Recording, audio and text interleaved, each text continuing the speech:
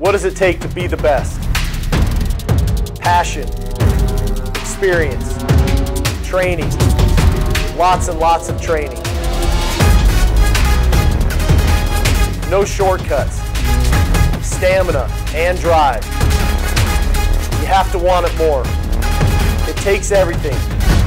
The best is here. Hook 'em horns.